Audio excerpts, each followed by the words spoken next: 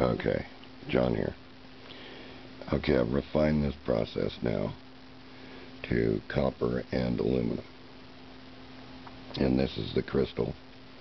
And now it's bonded in here with an electrical conductive of both of these. So you can see that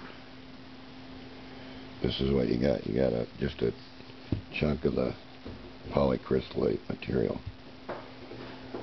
And then what you have is pulse burst currents. And watch.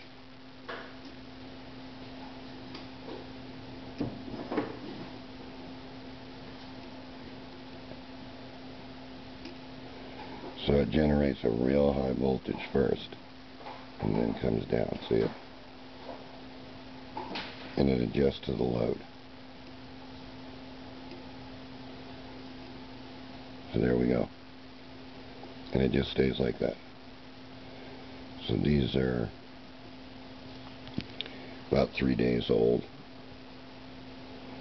And uh, we've been able to do a short circuit test and we're going to be posting all this but that's the material after it's hardened up and uh, you can see here I tried it at two different um, levels of thickness and it still operates the same so it's a good semiconductor material and you can see the burst and then it adjusts to the load because these are high impedance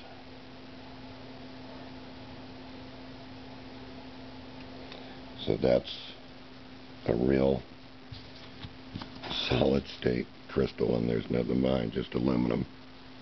And there you can see the crystal material. Piece of copper. And when it's molten, the copper actually, I probably wouldn't even have to put any bond on it because when it's molten like that, it uh, it sticks right to it. It just won't come off. And so here's the ball burst, burst again. See it?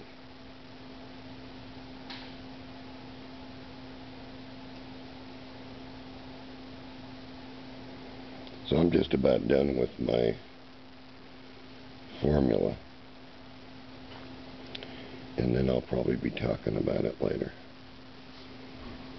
So I just wanted you to see I've got it pretty well down to I would like a, a flat sheet because I want a lot of surface area. Next time I will build one that's the entire area of this piece of aluminum, which is about two and a half by almost uh, three and a half long. And there you can see it. Thanks for watching. And uh, I'll do this again.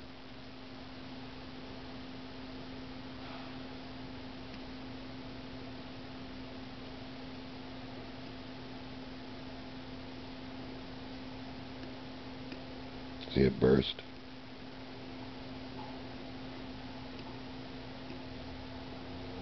So they're going to be great in pulse operation. Thanks for watching.